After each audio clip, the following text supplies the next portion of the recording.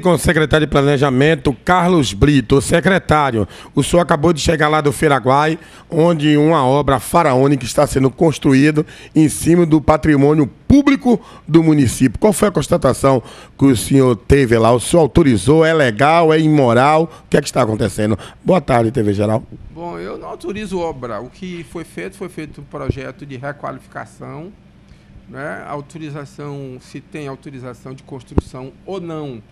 Aí quem tem que checar é a Secretaria de Desenvolvimento Urbano. Eu fui lá atendendo a, a, a um chamamento do amigo seu, fui lá, olhei e vou fazer a reunião entre o, que os, as pessoas que estão prejudicadas, a Associação de Feiraguai, a equipe técnica daqui e a fiscalização da Secretaria de Desenvolvimento Urbano para que a gente possa chegar a um termo comum, né? já que o rapaz julga que está sendo prejudicado com aquele tapume na frente e que sua loja está tendo prejuízo em função de não ter a abertura.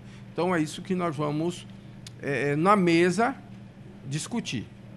Brito, para se fazer uma obra no, no, solo público do município, tem que ter um planejamento por parte da Secretaria de Planejamento. Tem um planejamento para a construção daquelas galerias ali, já que está construindo diversas lojas. Tem planejamento aquilo ali, meu nobre secretário Carlos Brito? O senhor assinou a, aquele projeto ali ou é uma invasão no solo público? Não, o projeto foi feito pelo doutor Sérgio, o arquiteto da secretaria. Eu não tenho competência para assinar projeto, porque eu não tenho CREA, né? Quem assina é ele. ele assina... Mas o senhor é quem manda. Mando é, deter, obedecendo a determinação governamental. Eu não posso, por então, exemplo. O prefeito autorizou. O prefeito, logicamente, autorizou. Se o prefeito não tivesse autorizado, a obra já estaria embargada. O que nós vamos chegar aqui, Paulo, é porque a gente está vendo aquele um cidadão desprejudicado. Associação do lado. Então a gente tem que chegar a um termo comum para que ninguém saia prejudicado. Porque se for falar em, em construção de obra pública, o Feiraguai é em cima de uma área, de uma praça pública. Ali era praça. Mas não foi planejada? Ali foi, mas hoje não está. Hoje teve invasões, você tem barraca em cima de, de, de passeio. O que está se buscando fazer é vai ter que se buscar a requalificação. E chegar um termo que as pessoas possam ter tranquilidade para ir. Porque hoje Feiraguai é referência na, na, na Bahia de comércio em Feira de Santana. O pessoal sai de Salvador, sai tudo que é lado.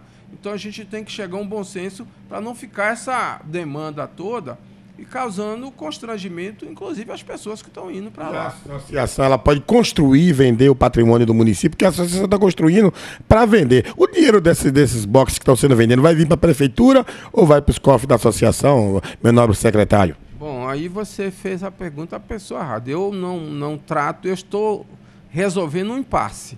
Agora, se boxe é vendido, se não boxe, a pergunta tem que ser ao secretário de Desenvolvimento Econômico e Turismo, doutor Magno Felsenburgo, que é quem coordena esse parte de boxe. A minha parte foi olhar a parte do projeto, levei o arquiteto lá, vi e vou fazer a reunião para que a gente possa chegar a um convencimento qual é a melhor solução. Porque se o comércio rapaz estiver prejudicado em função dessa construção.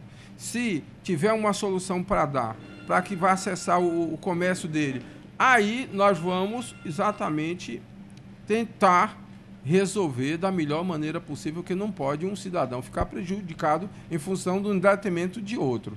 A respeito daqueles tapumes que fecha à frente da loja do rapaz. Não é uma forma de coagir, é ofereceram 200 mil para o rapaz vender, porque pretende ali construir uma galeria. Pelos que está se vendo, alguém está querendo benefício próprio.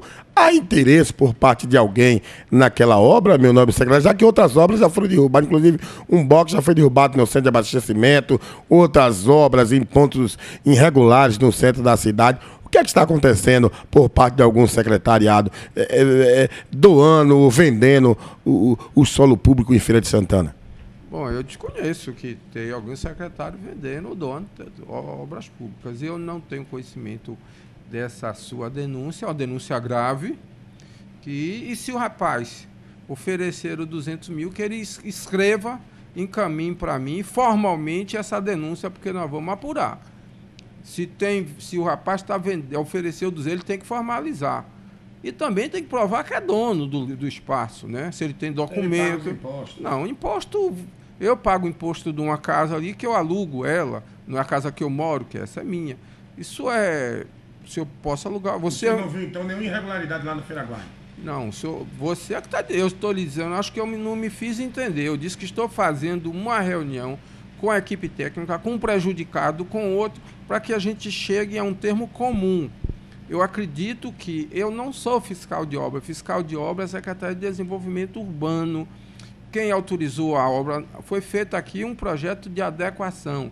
Quem vai ver se tem autorização, o alvará de construção é Secretaria de Desenvolvimento Urbano, que tem um É setor específico para isso. Né? O setor lá do Dr. Marco Miranda. Se, se ele autorizou, se foi pedido um alvará de construção, tudo isso. O que eu fiz ir lá agora de manhã foi olhar o quadro, convidar as pessoas para que a gente possa conversar e chegar a uma conclusão.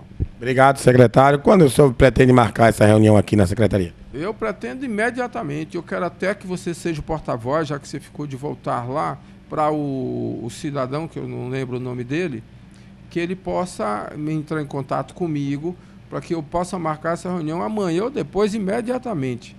Imediatamente, porque a solução, aquele problema não pode continuar. O governo não vai aceitar esse impasse que está causando desgaste a ele e desgastando força, porque a solução tem que ser dada, né, Paulo? Tem que resolver o problema. Saiba mais no Folha do Estado. Renovado. Você mais informado.